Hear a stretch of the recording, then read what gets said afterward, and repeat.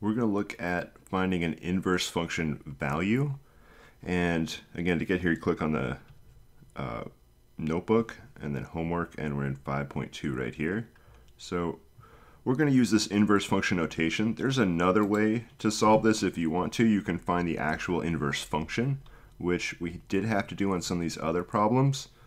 If you find the inverse function, it's two steps, swap x and y, solve for y. I'm not going to do that. Instead, I'm just going to flip this around using the inverse function notation. So what we're given is f inverse of negative 1. So we're basically given this starting situation.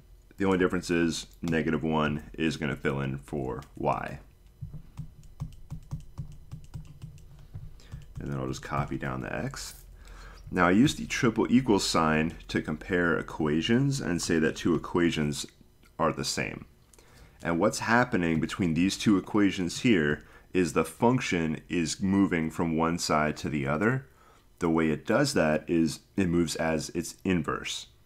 So we're starting out with this f inverse of y. You can move the function to the other side, but when you do so, it becomes the inverse. Or well, in this case, the inverse inverse is the original. The inverse of the inverse, they undo each other. So let's go ahead and write the equivalent.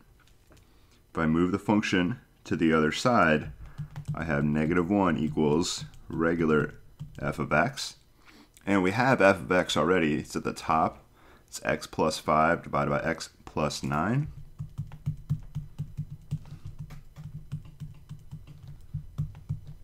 And now we have a regular algebra problem to solve. And I like to solve these by eliminating the fraction. So we're going to multiply by the denominator, and we'll just do that down below.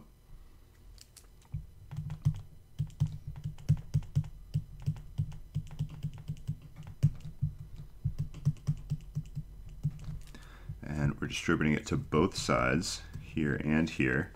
And on the left side, we're going to get negative 1 times x plus 9.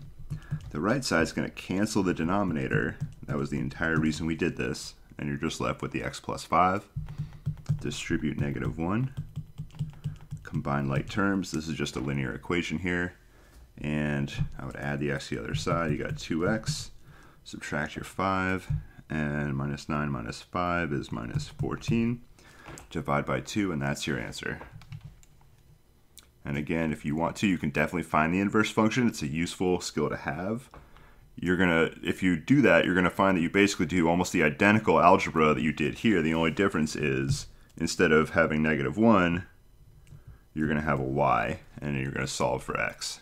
And that's basically what you do to find the inverse. You do swap letters but it's pretty much all the same algebra steps